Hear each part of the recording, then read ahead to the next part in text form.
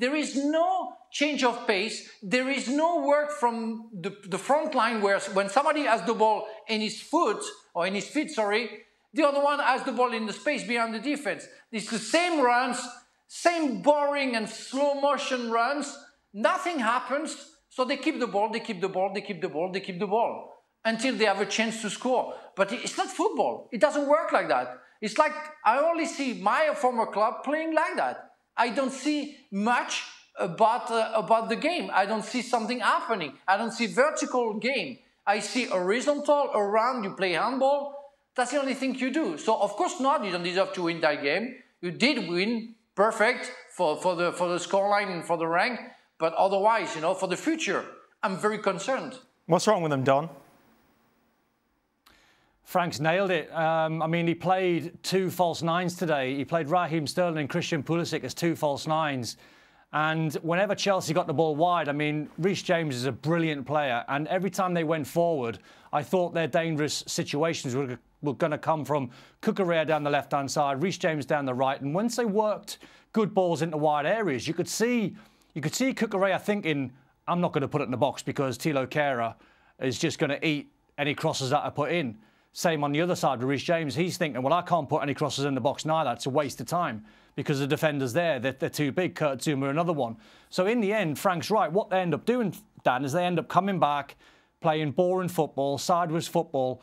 And my problem with Thomas Tuchel at the moment is it worries me that he couldn't get a tune out of a £100 million striker in Romelu Lukaku, yet he ships him back to Inter on loan. Then he goes for Aubameyang, just thinking the name and Aubameyang's going to solve all the problems. If Chelsea keep playing slow, predictable football, Aubameyang is going to be in exactly the same scenario that Lukaku was.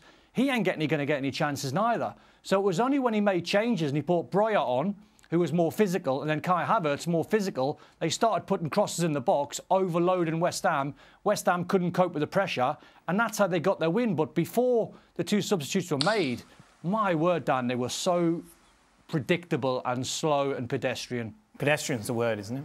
Yeah, he just he just picked the wrong team. He picked the wrong team. Don't say it there. when you when your two front men are Sterling and Pulisic, who don't like being centre forwards, and your your two, particularly one of them, and Reece James is your weapon, whipping balls in, but you don't play anybody who even looks like a centre forward. Why don't you play Broja? Because you've struggled so far this season and it's staring you in the face that you need somebody up front, play Broja. You're just giving him a new contract. Right. Play him. Get him some time on the field. Then you can start using the quality you have with Cucurella on one side and James on the other. He just he just got his starting lineup absolutely wrong. No, Dan, he made up for it. Dan, with if the I can substitutions. The substitutions completely changed the game. Yeah. And they got away with it. Uh, Frank?